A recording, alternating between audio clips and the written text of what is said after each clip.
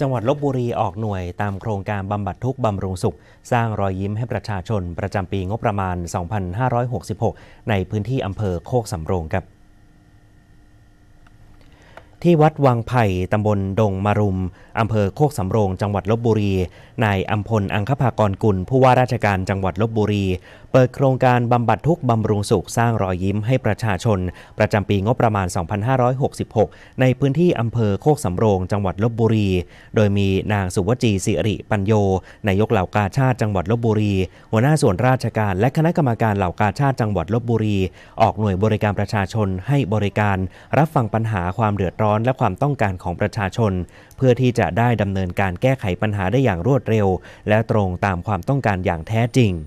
สำหรับการออกหน่วยให้บริการประชาชนในพื้นที่ประกอบไปด้วย การบริการตัดผมชาย การออกหน่วยรับเรื่องร้องทุกข์ การจัดกิจกรรมสินค้าโอท็อป การออกร้านตลาดสินค้าเกษตร และผลิตภัณฑ์สินค้าเกษตร การออกหน่วยแพทย์เคลื่อนที่ของโรงพยาบาลโคกสำโรง การทำหมัน การฉีดวัคซีนให้กับสัตว์เลี้ยง การให้ความรู้ด้านกฎหมาย และเป็นการพบปะระหว่างผู้บริหารของจังหวัดกับประชาชน เพื่อสร้างความเข้าใจและความร่วมมืออันดีระหว่างกัน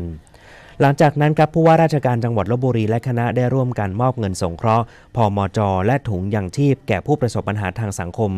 เยี่ยมชม กิจกรรม การให้บริการประชาชนของส่วนราชการต่างๆ ที่ให้บริการประชาชน ซึ่งโครงการบำบัดทุกบำรุงสุขสร้างรอยยิ้มให้กับประชาชนจังหวัดลบบุรี จะหมุนเวียนไปตามอำเภอต่างๆ เพื่อให้ประชาชนในพื้นที่อำเภอห่างไกล